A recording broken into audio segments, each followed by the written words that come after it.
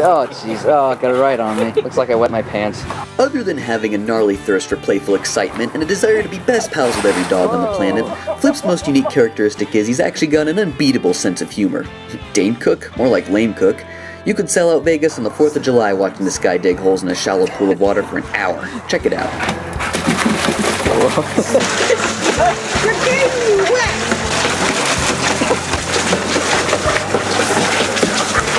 When he's not busy drenching everyone, Flip enjoys the company of his pals Duke, Hondo, and Shebba. Together they make some sort of a Fantastic Four where their mission is to be more entertaining than both of the poor movie adaptations combined.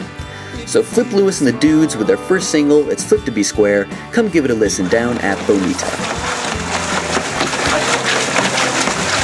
Like sticking holes in water. Yeah.